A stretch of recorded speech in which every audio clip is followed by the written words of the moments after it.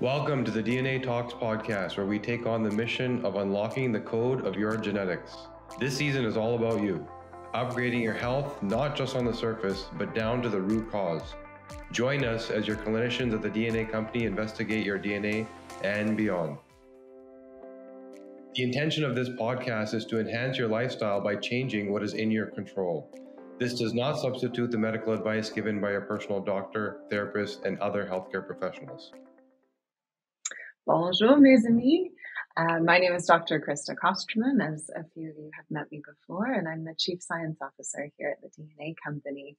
And I have the most delightful pleasure today to to be conversing with, engaging with, and to an extent interviewing uh, one of the founding members of the DNA company who we have based so very much of our work effort and clinical effort on his understanding, interpretation, and and dancing with genetics. And so um, I'm delighted today to introduce our podcast guest, Dr. Mansoor Mohammed.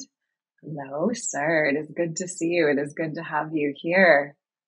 It's a pleasure, Krista. Thank you so much for having me. Yeah, thank you, thank you. And and what I would love to do, I think you know, a lot of our audience is familiar insofar as you've you've spoken a lot about your engagement with DNA Company and and your interpretations of genes. But I would love if you just take a moment to kind of introduce yourself again you know speak to your involvement with the dna company your your involvement in its conception right as as well as kind of how you have found your way into genetics how where your passion sits what what drew you to this initially so I'm a, uh, thank you so much for that opportunity, Krista. And first and foremost, it's just such a pleasure to see where you and your team, certainly led by Tracy, have taken the company. It's it's uh, seeing and, and sort of on the sidelines for the last couple of years. Um, obviously, the DNA company is a bit of a baby of mine. Obviously, of others as well. There were certainly not just my mind, but the brilliance of several individuals but I just wanted to tell you, I'm just so incredibly proud of what you guys have done. And this for me is kind of like a, you know, sort of um, just coming back to a party and watching it how the kids have grown up. and, uh, it's just, uh, you know, yeah. you and I used to have so many conversations about when we would review patient profiles and new DNA discoveries. So I guess it's a good place to start from there. I am a clinical geneticist. I love all things genetics. I've for the longest time, I've just been enraptured by the concept that as human beings, there's this thing within us, this operating manual within us, our genome, and that, you know, you, you can look at someone and you say, yeah, I got that nose from mom, or, you know, this particular personality quirk that I have is from dad, or even grandma or grandpa.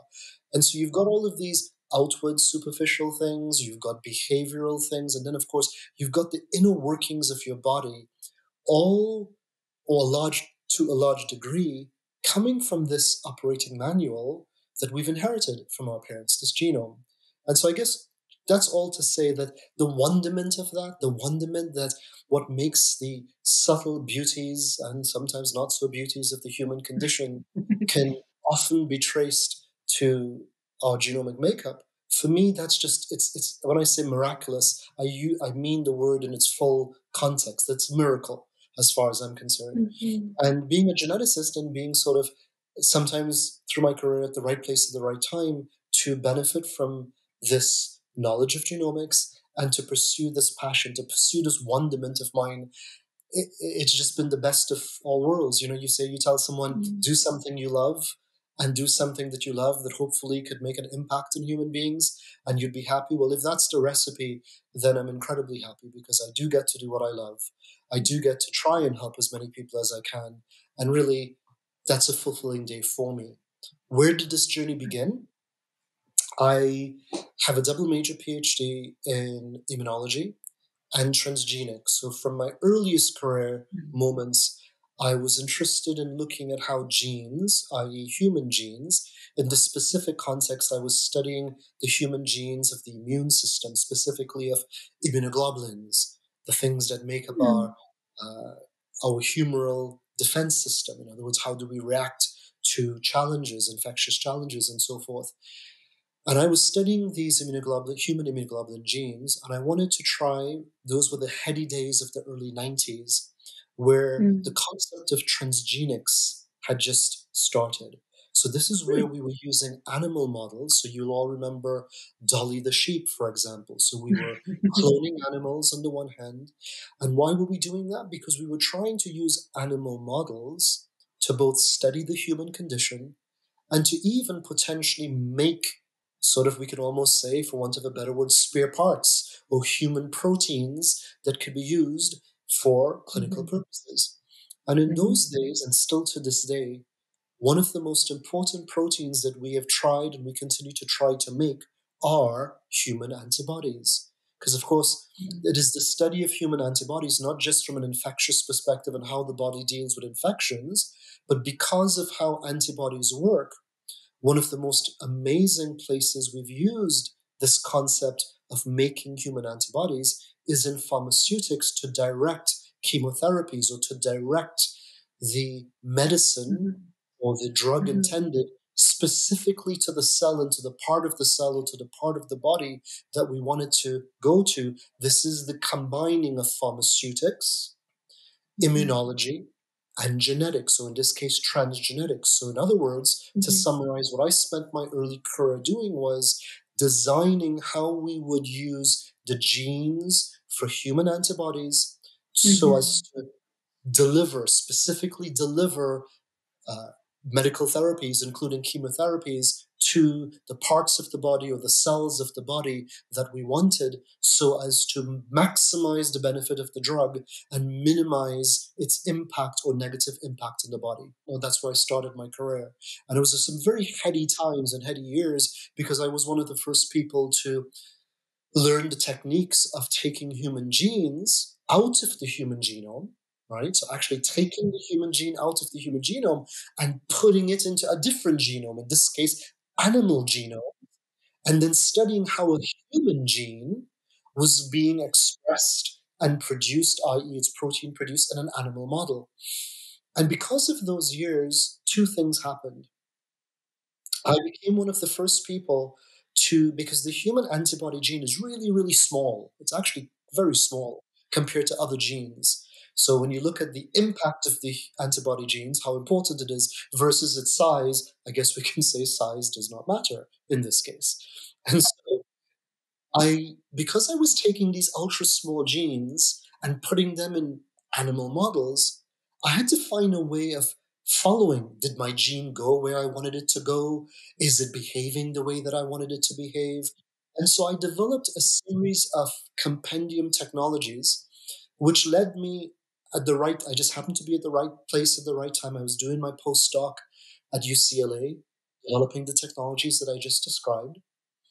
And researchers at Baylor College of Medicine, who arguably were at the forefront of the Human Genome Project at the time. You know, when we look at the different academic institutes that were contributing to the Human Genome Project, obviously there were noteworthy institutes across the world. But one of the best institutes in the US that was contributing to the Human Genome Project was Baylor College of Medicine in Texas, in Houston.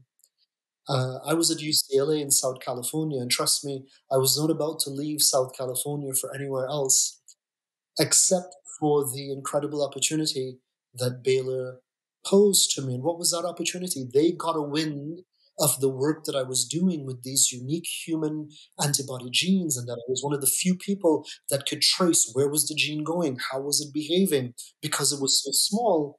And on their side of things, they had developed the technology to start making something called microarrays.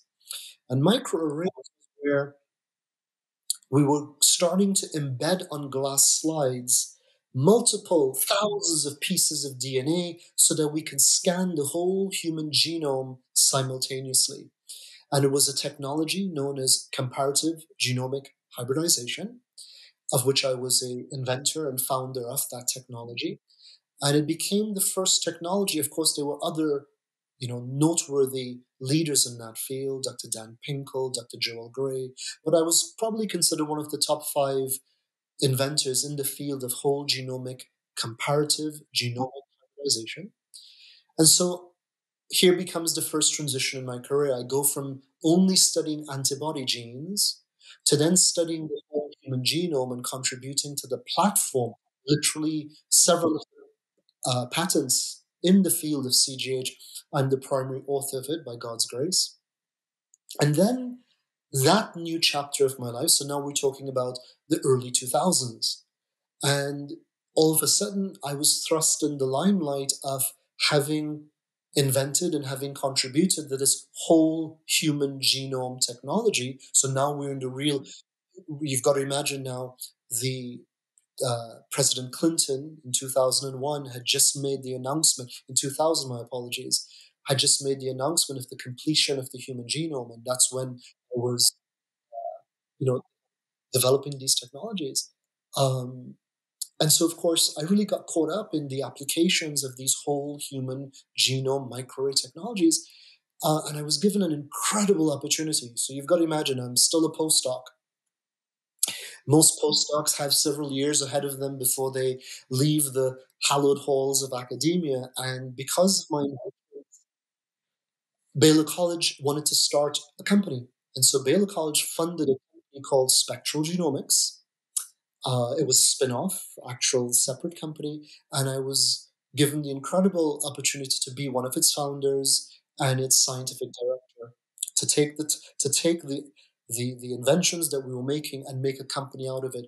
And Spectral Genomics became uh, literally the first whole genome testing company. We really, those were really heady years, Krista.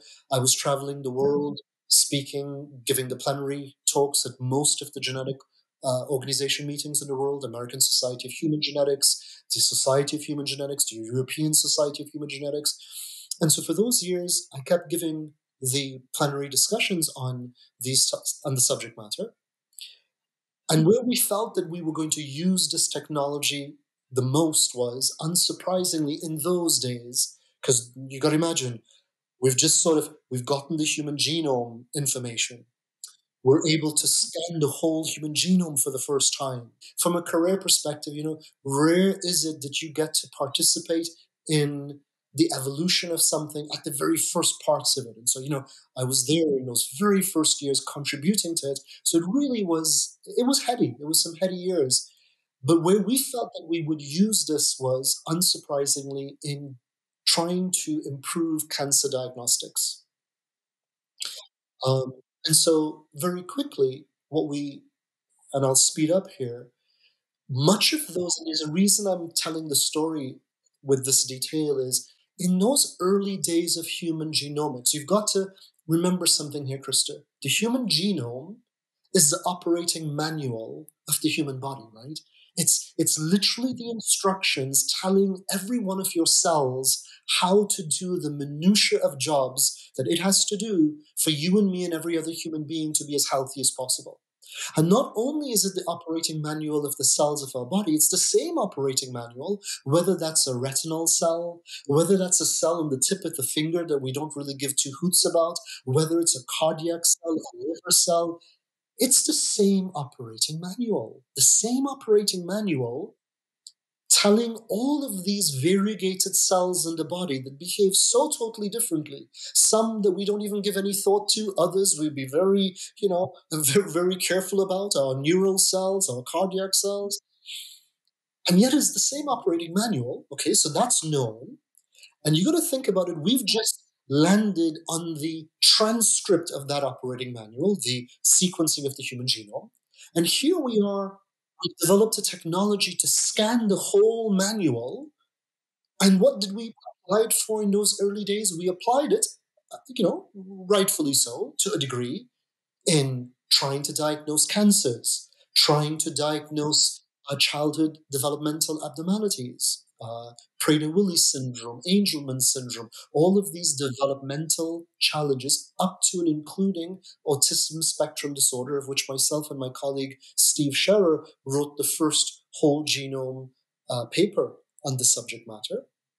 And so we were publishing some of the best uh, publications in the time. We were involved in those publications, but here is the point and the moral of the story. Everything that we were doing up until then, equipped with the operating manual of the human body And all we were doing, all, a big all, but we were using it for the diagnostic of diseases. Right? So think about it. You've got the operating manual of the human body, and all you're interested in is when is something broken and what will be the disease that it, co- it, it, it causes.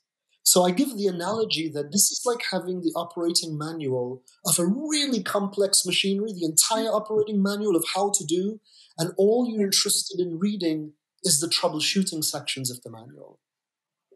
And I would offer that that paradigm I feel, and, and that this is shifting now, but I would offer that paradigm is pervasive within any medical field, right? It is. We It is. we receive people, we say, what is broken? Okay, let's fix it. Let's, you know, often let's put a band-aid on it, right? Yeah. But we're not so far thinking as to what do we do with your health so that you're joyful in life and that you're enjoying your time within your body and what your body is able to do. Absolutely. And, and, and this preoccupation, as you've just so beautifully put it, that sets the almost theme and precedent of the way we practice medicine, which is that it is illness care and not well being.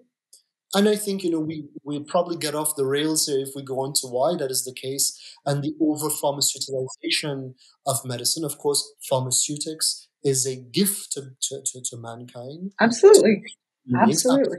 It has a purpose and a place. it has a purpose. But we have been somehow over, uh, we've been beaten over the head that the human body should only be studied through the lenses of either when it is broken or through the lenses of the pharmaceutic uh, uh, upregulation of the body, as though the human body in its natural state isn't beautiful, isn't awesome, Yeah.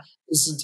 And so I end this full arc of that beautiful question you've asked me as to you know kind of where where did I find my passion, and it was the passion of just loving the human form and function, human form, function, behavior, being always from a little child being awed by i come from these from the caribbean islands where we've got huge families and you know a string of aunties and uncles and we, we tend to grow up in a very communal environment and so i was always struck by human behavior uh, uh, human physiology uh, the Caribbean is a very mixed. I'm, I'm a mutt, for example. I've got so many different genetic, you know, uh, ethnicities mixed in me.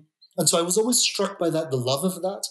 And then my story arc goes to being just this young, you know, fool at the right place at the right time, doing an amazing PhD, then getting this amazing postdoctoral set of positions, first at UCLA, then Baylor College of Medicine, then just really being at the right place at the right time and contributing to literally on the ground at the time the discovery and development of genomic technologies. And I end this first part of my story by saying, and with all of that, I wouldn't change anything. But where did I land? I landed in the industry that was the illness industry. I landed in the industry of using genetics and genomics purely for disease diagnostics. And that's the first phase and the end of the first phase of my career. And that took me to about 2011. And then in 2011, I had a real epiphany. It was literally one of those storied moments. I was in a cafe with a very, very close colleague of mine, another uh, geneticist, and he was aware of the multifarious places my work was being shown and, and, and published. And and he said, you know, Mansoor, he was thanking me and congratulating me at the time. There were some real wins. We'd, we'd, we just finished publishing the first use of whole genomics for breast cancer diagnostics. We just finished publishing the first use of whole genomics for leukemia diagnostics, for prostate cancer diagnostics. We just published a whole number of things using the technologies, myself as the senior author or contributing author. And so he was congratulating me on that. But he said, and he asked me, he said, you know, Mansoor, did you think that your career would land you where you're only using the genome for disease diagnostics. It was like he was reading this part of my consciousness that I, again, as the story is going, that it was weighing on me that here we've had this whole incredible operating manual and we're only using the troubleshooting sections of when something's broken. And so to now complete the story, in 2011, Krista, when you truly have, you thought everything's happy, you you you know, you don't think you have to change it. and when yeah. someone comes along and, and, says something to you that just really rocks your boat, yeah. and yeah, yeah, I, I can remember yeah. everything about that meeting, and I could remember leaving that meeting going, "Geez, yeah." yeah. Do I just do I just finish my career only looking at the human yeah. genome yeah. from when something is diseased. Uh, yeah. And so I and, yeah, I was going to say I offer I offer reverence to that because I, I, I feel like there's an element of I think many people experience those moments in their life, and there's an element both of humility to hear it and then bravery to act upon it. So I think you know as as as we navigate and support kind of the work that came after this moment, I offer gratitude towards it because I think it's it's supporting a shift in the way medicine is being offered to the world. And that's so important because that shift from disease medicine to wellness medicine is an important one. And and and so that takes us beautifully to uh, what I would call the second uh, evolution of my career, and I'm now on the, the second epoch. the, the second epoch. Uh, I'm now on the third epoch, which we'll get there, I presume, at some point during this conversation. Oh, yes, but, we will. So the second epoch is, I honestly, Krista, I left that meeting thinking, gosh darn it, um, no, I can't just focus. I've been given a blessing. I was, you know, I'd had all of the right publications, all of the right uh, intellectual stimulations and colleagues. We were partnering with Harvard, we were partnering with Cambridge, we were partnering with some of the best institutes in the world. I was at, at that point in time, I had already been the so not so just to go back, I had been the director and founder of Spectral Genomics. I then was hired mm. as the director, the youngest director of genomics of Quest Diagnostics, the largest reference lab in North America. It was an $8 mm-hmm. company. Now I think it's something around $15 billion. I was the first director of genomics for them. I had become the CEO at the end of this epoch. I was the CEO of the first NASDAQ traded diagnostic company in cancer diagnostics. Mm-hmm. Right at that point was when this conversation happened. And I resolved myself to do something different. I resolved to use what I'd gained at that point and go back to the human genome purely and utterly from the perspective of could I use the human genome to start understanding the human body functionally? A very just just mm-hmm. just a simple if it is in fact the operating manual, mm-hmm. and if the body is the recipient of that operating manual, the human body, and if there's mm-hmm. so much we clearly don't understand about the human body, and the beauties mm-hmm. of it and, the, and the, the strengths and vulnerabilities of it. And vulnerabilities are not weaknesses in and of them, they're just vulnerabilities. Yeah. Then I wanted to be someone who dedicated themselves to, as a genomicist, to do this. And so in mm-hmm. 2011, believe it or not, right at the end of that year, I resigned from my position, retired, mm-hmm. But I started my own consulting firm. It was meant to be a self consulting, it was meant to just give me, I was blessed to be financially quite stable at that point, to be able to take some time and just study the human genome. Just study the human genome. Oh, yeah. Um, How delicious that must have been. I know. And you know, Krista, what's really cool was to study it without anyone pulling any strings. In other words, I had no uh, um, had no one telling me, well, it's for the discovery of this drug, or you only can study this disease. I was yeah. able to just, I want to just study the human genome. And mm. I had the mm. time to do it. And that gave rise, if we speed up, uh, Krista, that gave rise to what? It gave rise to me being one of the founders of a field of genomics, again, just being in the right place at the right time, of something we call functional genomics. And Dr. Jeff Bland and others are, you know, I, I can't even step under their feet. They are gurus and I'm just a kindergartner. But I really admired the work they were doing in biochemistry, but no one was doing it in genomics, right? And so I wanted to ask this question, and here's then the conclusion of epoch number two, the start of the DNA company, all in one. Believe it or not, I wanted to be able to ask a fundamental question. Like I said, I'm, I'm, I'm not I'm not going to hide it. And there's, you know, it's not that I am hung up on it. It's just because I consider it a miracle. I've always been, as I mentioned, absolutely enamored by the human body. And I don't mean that hopefully in a creepy way. I mean just just enamored by the beautiful diversity of the human body. Plain and simple. The, the female form, why are some women shaped a certain way, why why their body types, the male form, just enamored by the human body. And so I wanted to put a task to myself when I started the second epoch. I said, okay, if the human genome is in fact the operating manual, and there's a lot of debate as to what, how much does it contribute to, how much does diet contribute, how much does lifestyle and environment contribute? Clearly, they contribute a lot. Hey, at the end of the day, this human genome is clearly contributing to forms and prototypes of human uh, uh, shapes that we can see. And those prototypes they occur geographically. We have different people in different parts of the world that have, you know, very classically similar prototypes of body form and classically dissimilar to other parts of the world. So, okay. So clearly, this couldn't just be diet. It's not geography. So again, there was this thing proving or pointing that the human genome had with it the ability to explain human form. Now, I really want to pause here for a moment because you've got to understand this is 2012 now, okay? And until that point in time, and actually, truthfully speaking, until DNA Company, and actually, truthfully speaking, even until now, the wider appreciation that a person's genetic makeup can actually be used to predict body type, body shape, the nuances of the body. Is this young woman, sh- not that it matters one iota, but just to show you the nuance of it, does her genetic makeup, can it explain a proclivity to something as simple as cellulite, to something as simple as stretch mark? Can in fact the human genome explain such nuances of the human body? So this was the question. No one had answered it at that point in time.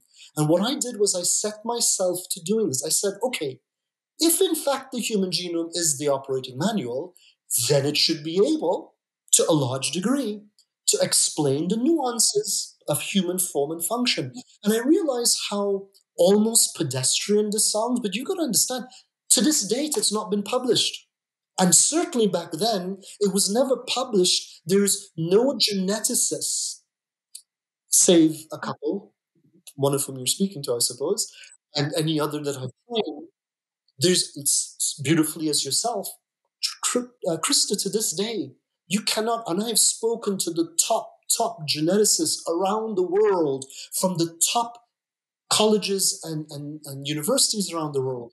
And they're so pin focused on the particular disease or the particular subject matter that they've lost sight of the holism of the human body. And so I'm going to make a very audacious statement. Still to this day, there is no geneticist who can look at the human genome content and actually tell someone remarkable things that they shouldn't know about their bodies, i.e., without me seeing someone, if I know that she's a female, I can tell her what's the shape of her body, what are the challenges of her body? What are the strengths of her body?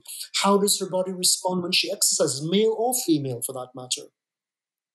Uh, what is likely to be her menstrual cycle if she chooses if she's menstruating if she's not on birth control how does her body respond if she were to go on birth control in other words and then this is the second epoch. This is what i gave to dna co when i realized that yes in fact the human genome does contain the code, the instruction for not just the minutiae of if something is broken, what is the disease, and not just the superficiality of certain, you know, do you have blue eyes, do you have curly hair, but the beauty of the human form, function, variation, strengths, vulnerabilities, externally, internally, once I discovered what I discovered and I was able to prove it over and over and over again, by all means, or I should say, by no means, have we tapped out the human genome.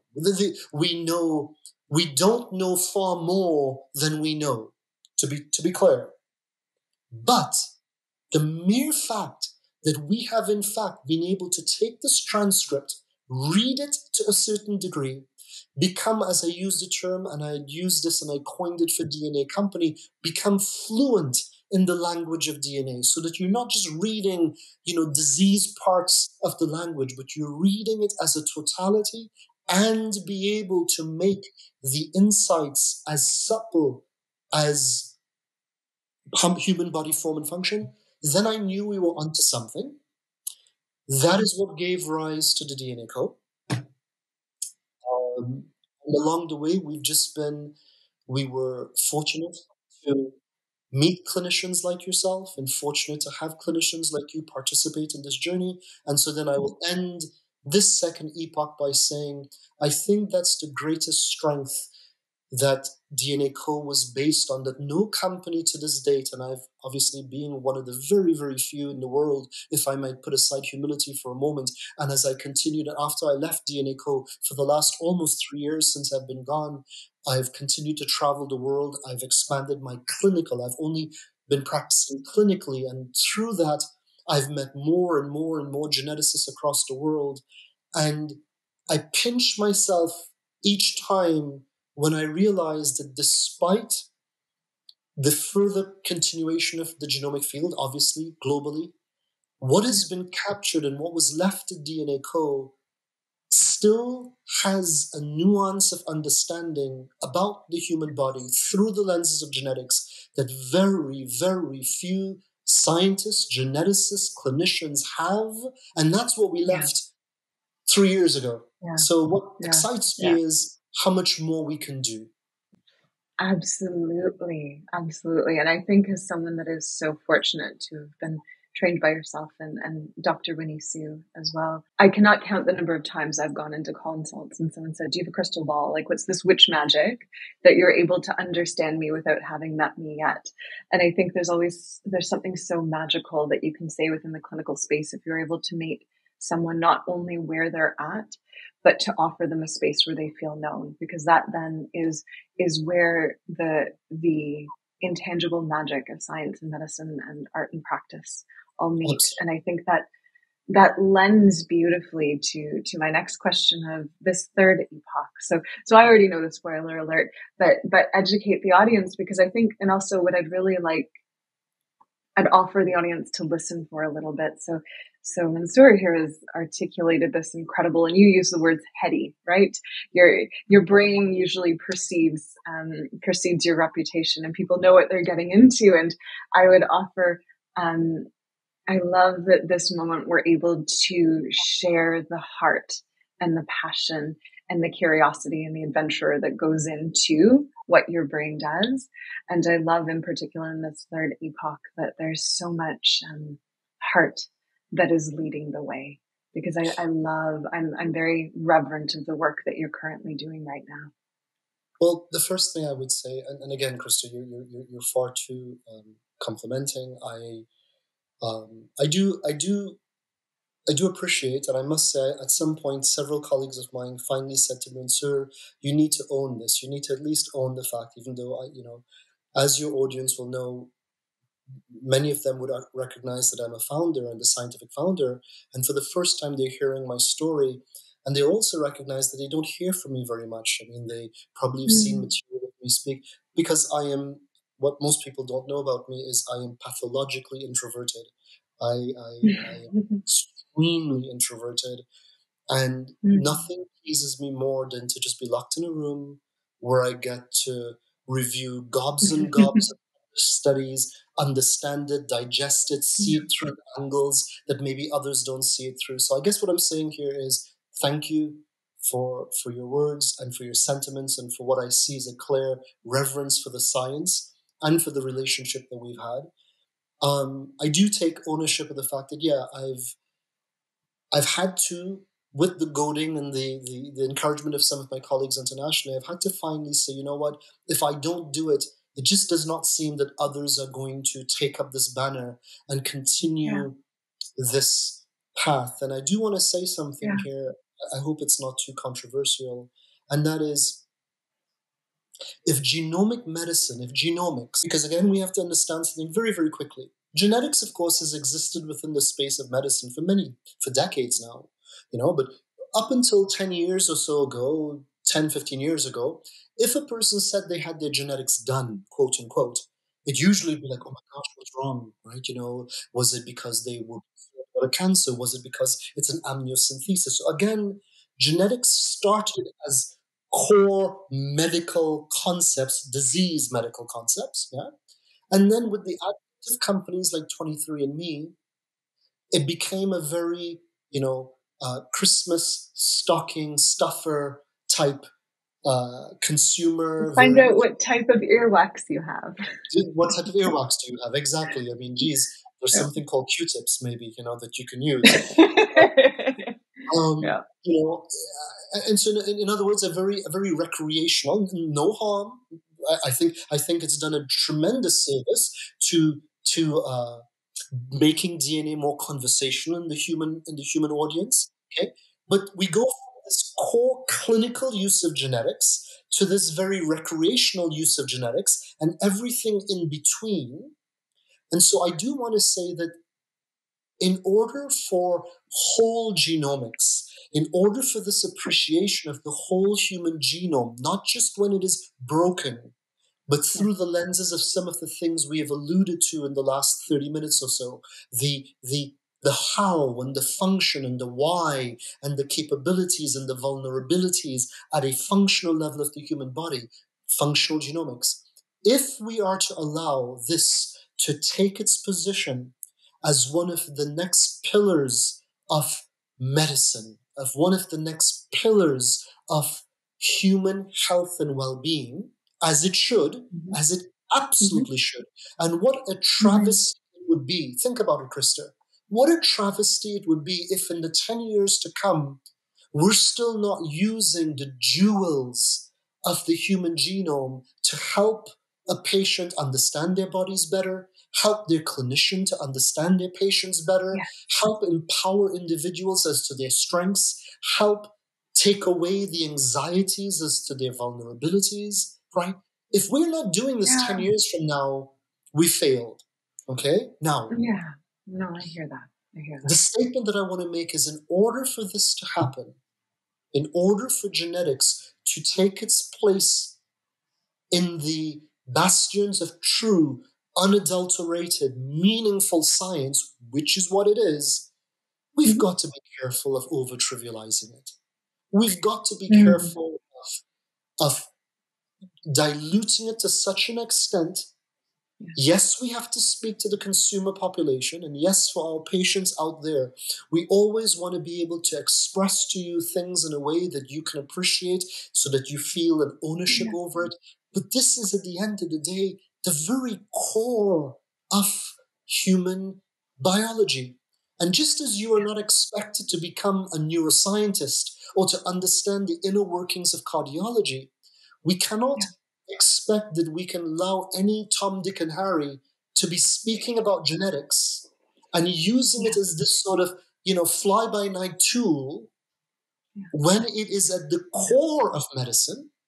And if we are to allow the medical community and the consumer community to appreciate just how important this science, the science of human genomics is, we must take up the banner of keeping that science pure, keeping it at the level yeah. of true science and not at the level of gimmick.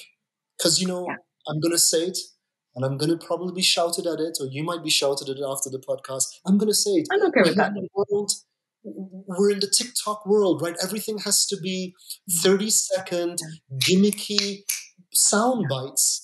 But if you're interested, if, if, if you're interested in something that's cool and fun for two days, that's okay. But if you're interested yeah. in really cracking the code of human biology, it's not a 30 second soundbite. It's not something that is trivialized. It, it has to be deep, it has to be meaningful, and it has to be driven by scientists who have the credentials to do so. And and I would also offer I'd offer two thoughts there. I think first and this is lacking in the public at large, not just with genomic medicine, nuanced conversation about science, right? I think I think a lot of the consuming public would like a very binary answer of this yes or this no. And and science doesn't operate that way, especially when you're on the bleeding edge in this space like you are, because rarely will we come into a space where we know that binary yes or no, right? So there's always nuance, and it's hard to communicate that because when a, a person, a patient comes in and they're like, "I'm not well, I need support," the comfort that they would seek really is here's that binary, here's exactly, right? And so it's very difficult when someone's before you seeking support to say, we don't fully know, but here's what I best know. And, and that bleeds into my second point of, and I would really encourage people as they listen to this, as they work with practitioners, the humility that must be undertaken on both sides when you're engaging with such new medicine because again, I think there has to be a humility to come back and say, this is what we best know now. But in a year or two from now, that might be different. And, and if I might offer an example, you and I, you and I spoke about this example before. When I first started training with yourself and Dr. Winnie, you know, we, we would examine, for example, a SNP that's associated with BDNF gene. And we would say, we're looking at this in isolation and here's what it is.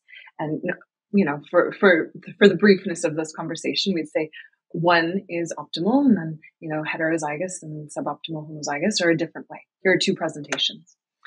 And I would work with clients in my practice and I would say, this is your presentation. So this is probably how your BDNF is. And here are things we can do to support it. But here's, here's how your genome is. And, and people, a, a small grouping of people would come back and say, that's not my experience. I have something different. Right. And, and I'd have to sit there with this is what their genomic presentation is compared to this is what their experience is. And we would always work with experience, right? We don't know what else is going on and influencing that. But a year or so later, you came back and offered additional training of like, hey, guess what we learned?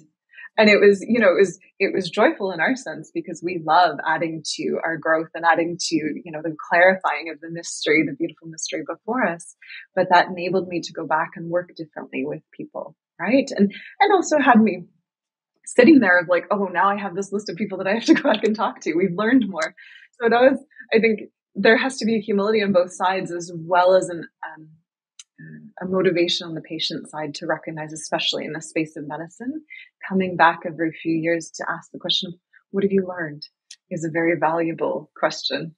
You know, look, first and foremost, couldn't agree more with the way you've just summarized things. For the audience, Krista is speaking of the concept of epistasis, which is yeah. that when we see a gene and we see a version of a gene, and we can certainly make interpretations of the version of that gene, but ever so often, the version of a gene, i.e., the genotype at a particular SNP, so in other words, what combination of alleles you have at a particular SNP, which informs the way that that gene behaves in your body, and that we would mm-hmm. interpret a certain way, ever so often, that interpretation is actually changed depending on a completely seemingly unrelated gene and its genotype. And so, Krista, for, mm-hmm. the audience who will listen to this, what she's referring to is that there's some of these really hard hitting, really well interpretable genes like BDNF, like COMT, and others that we can mention for which you can often interpret the impact of a genotype in that gene.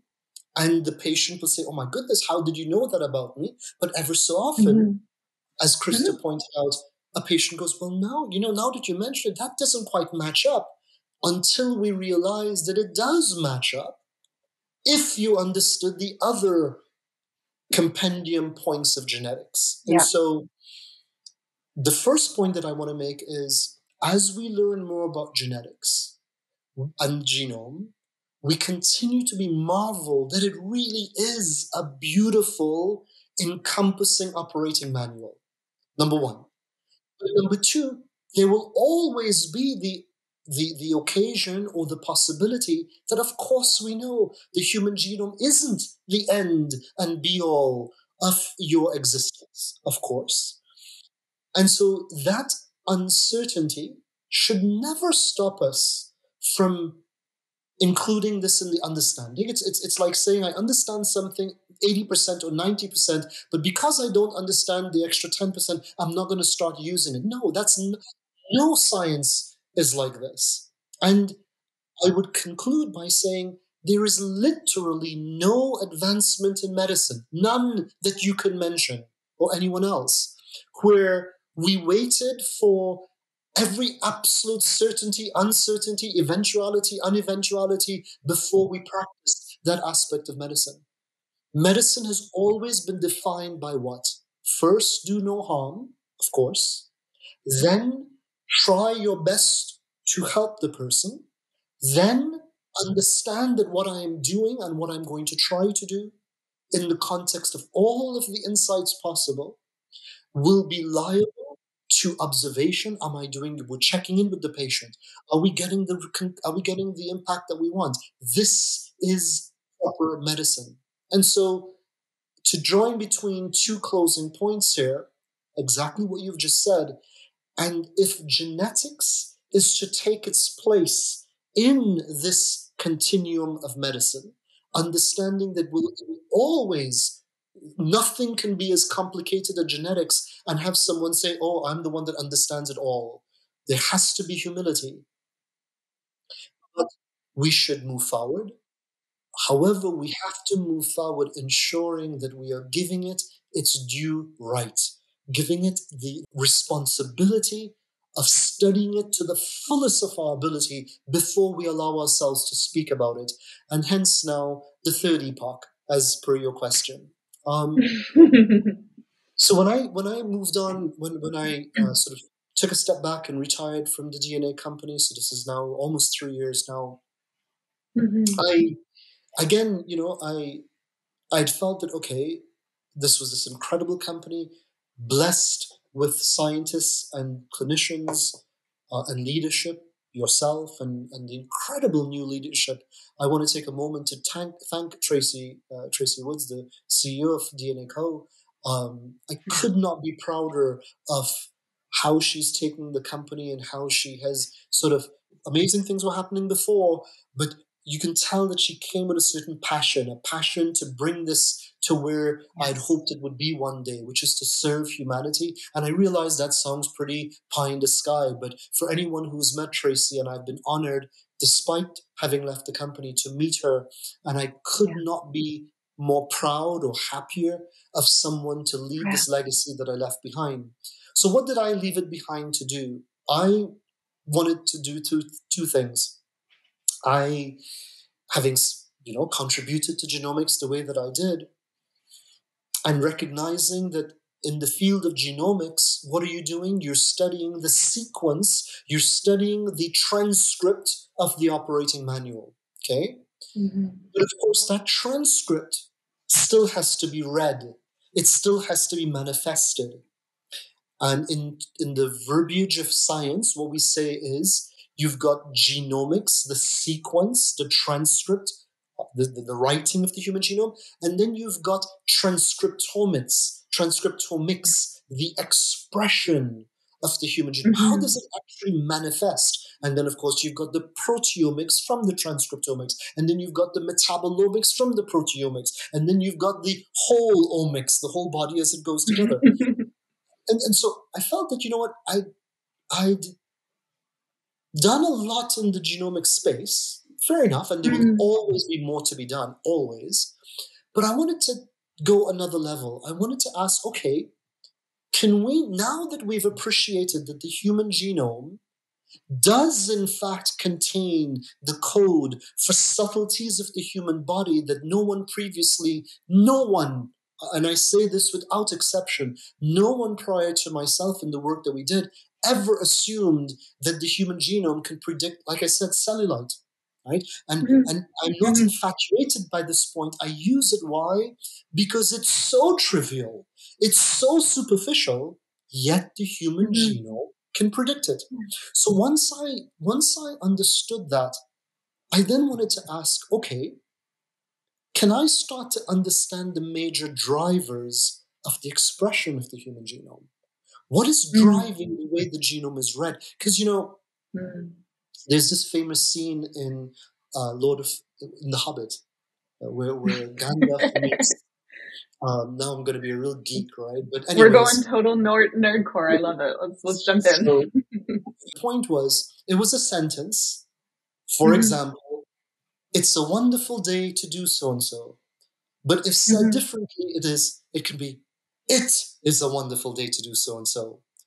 It is a wonderful day to do so and so. In other words, you can take a sentence, and everyone is familiar with this theme. Yeah. You can take a sentence, and depending on where you put the emphasis of that sentence, the mm-hmm. meaning is different. Yeah, it's incredible. An insult can become a compliment. absolutely, indeed, or a compliment can become an insult.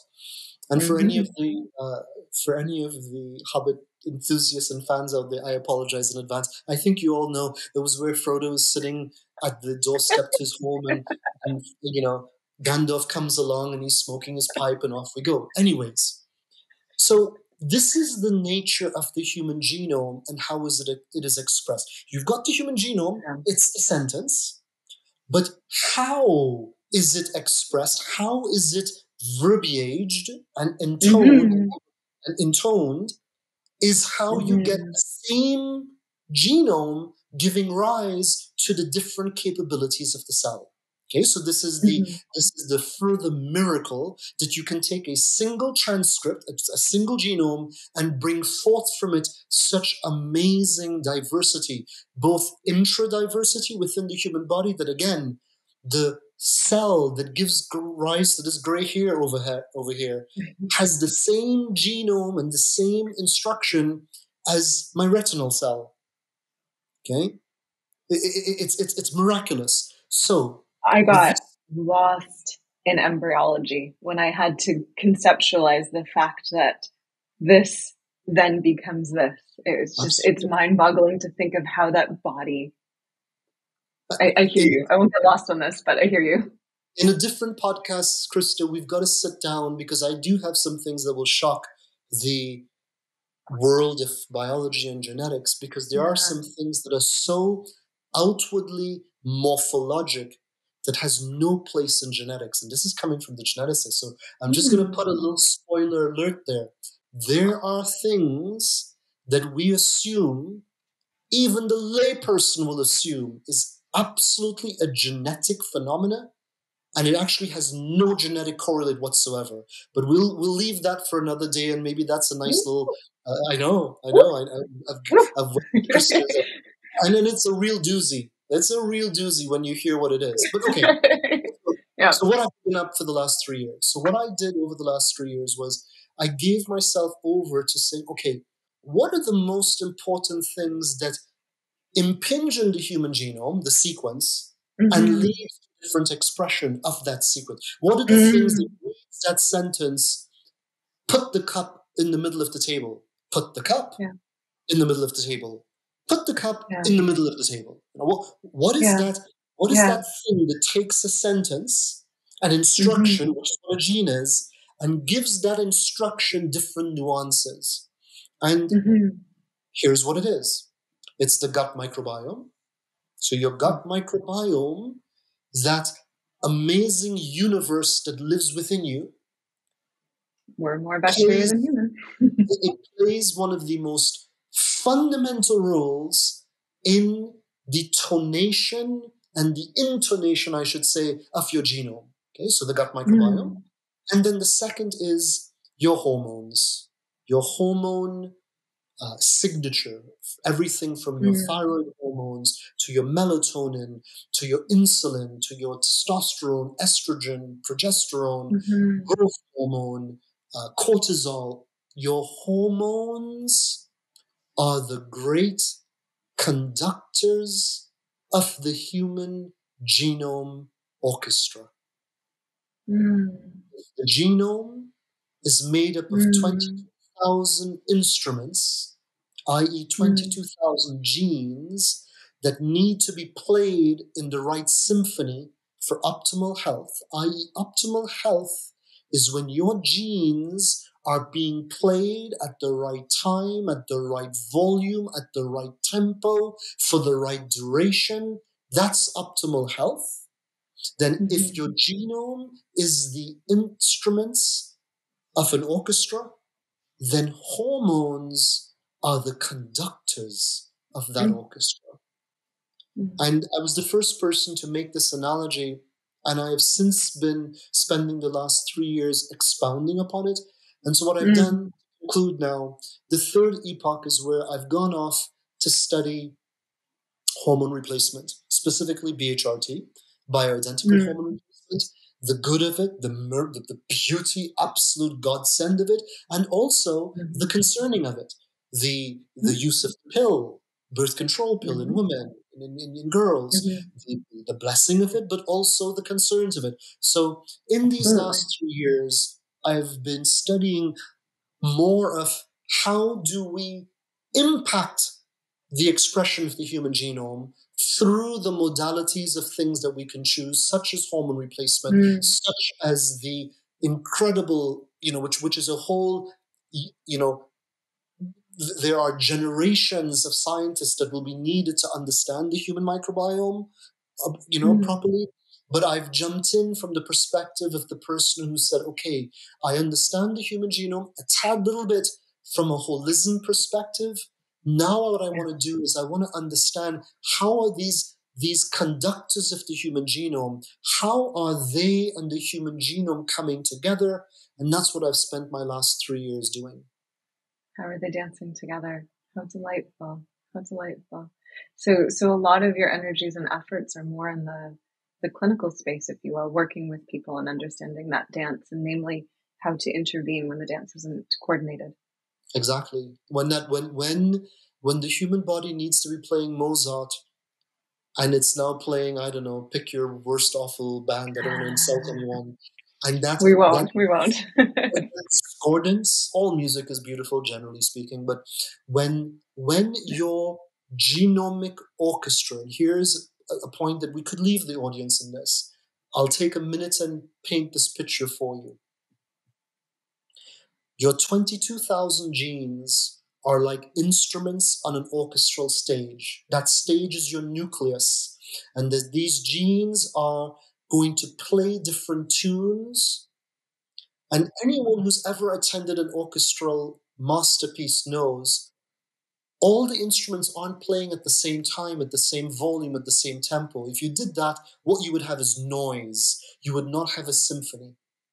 The beauty of that performance, when that performance is considered a masterpiece, is when it's when each instrument knew when should it play, when should it start, when should it stop, what volume should it play at, what tempo should it play at, when should it go into the background? When should it come into the foreground?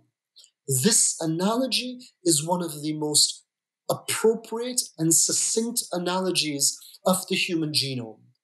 Optimal health, Krista, is when our genomic orchestra of our cells plays the best symphony it can play. In other words, optimal human health is when our cells and the genes within our cells are performing, being turned on and turned off, right volume, right tempo, appropriately.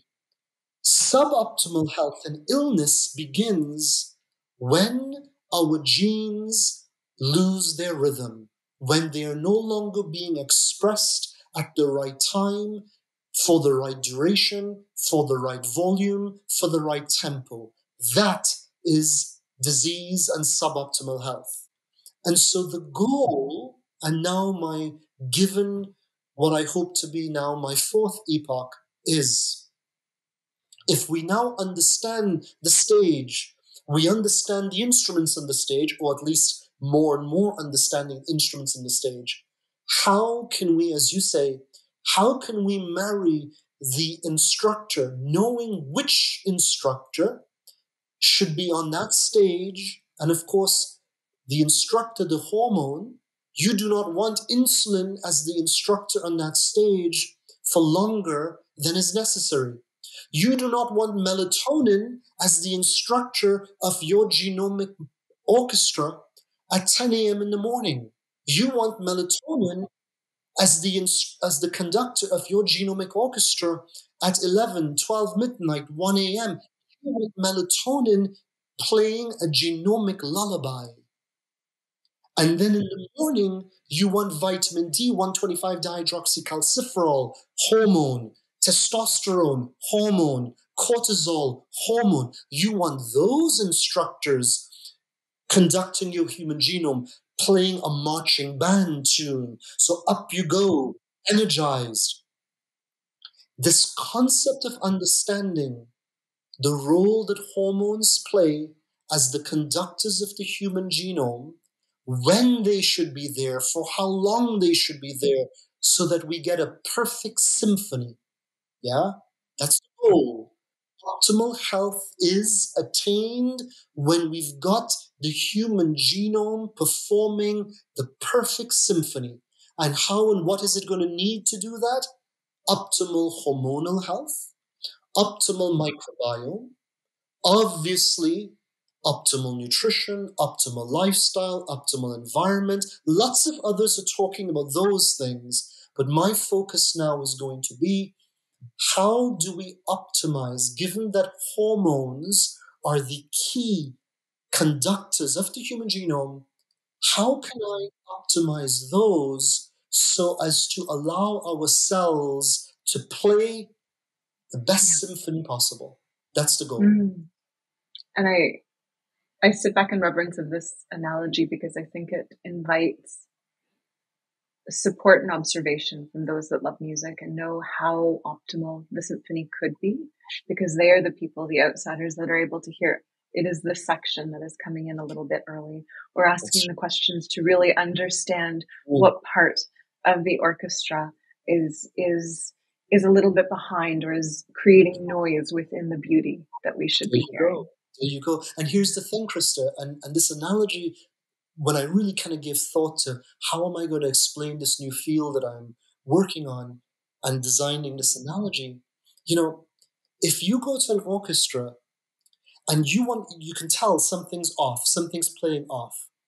Which is the smart person? The person who goes on that stage and tries to listen to these 22,000 different instruments, to, or the person who looks at the conductor and looks at where is that conductor focusing his energy, saying, hey, listen, you know, up or down. So the beauty here is embedded within hormones. If we begin to understand the hormonal signatures of a human being, what we begin to see is it, the hormones are the conductors of the human genome. And because hormones are readily measurable, by measuring and studying the hormonal signature within the human being over the traverse of the 24 hours, we begin to see where and when is the human body trying to change the rhythm of that cellular performance, that genomic symphony. And so I fully expect, and what I'm hoping to do in this next phase of my career is as much as, if I were to put aside humility for a moment, as much as I reinvigorated the field of genomics, I hope to reinvigorate the field of hormone. Uh, hormone medicine, endocrine. I don't want to say endocrinology because it's been mired in a very archaic way of looking at the body, but but but give a new light to understanding the true role of hormones and how they impact the human genome and look to the hormones rather than looking just to the 22,000 instruments. I can now look at just a few different hormones and pick up where in the body is struggling, why is that hormone level going up too high? Why is that hormone level too low? What is the body trying to do? I.e., what is that conductor on the stage trying to correct in cellular behavior? This is where I believe, in conclusion, Krista, where medicine is going to go. And I hope to be, as I have been blessed to be on the ground in the heady days of genomics. I am just, I'm just jazzed to be giving birth to this new this new world of understanding mm. hormones this way. And, and I hope our paths will cross here in the coming months, Krista.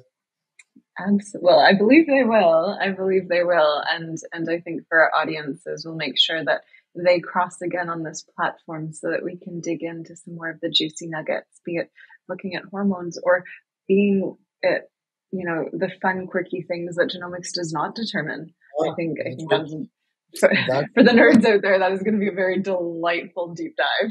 it, it is, and I, I, I'll, I'll tease it by saying it will shock you. I, I, I guarantee you. it will shock you. So, for the audience, I will say this I guarantee you, if I ask you a certain question about whether a certain aspect of the human body is inherited or not, that you go, Yep, I got that from mom, I got that from dad. In other words, it's inheritable. And if something is inheritable, means it has to come through the DNA. But I'm going to give you examples where there are things that are the most obvious inheritable aspects of the human body, and it has nothing to do with genetics whatsoever. Oh, it's going to be delightful. And I, I really value that, you know, you talked about let's not be TikTok about this and you just left a glorious little TikTok bite to invite our, to invite our viewers next.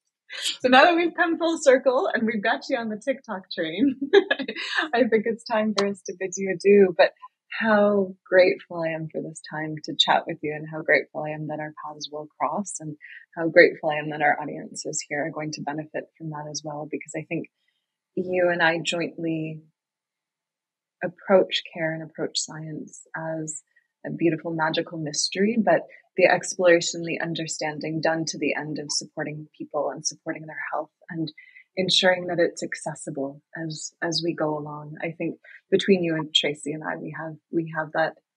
We're very guardful and mindful and um, of that vision and mission, and I'm I'm just so tantalized for what is going to be coming in the next years and what how we're going to be able to help and support people. It would be an absolute pleasure, Anna Krista. Uh, Godspeed, God bless. Thank you for taking this mantle and taking this little thing that we've left that I think has such huge potential. Please tell Tracy thank you for me and for the DNA Co audience, its members, its patient populations. It's you know, uh, there's so much to come and so much beauty to be discovered. Thank you for being part of this journey yeah. with us over the years, and hopefully for the years to come. Mm-hmm. Absolutely. Well, we will, we will, on that beautiful concluding note, we will, we will bid everyone adieu and thank you for spending time with us. And we look forward to chatting with and, and diving into mysteries and diving into wonder with you again soon to the end of being of support to your health. All right. Au revoir.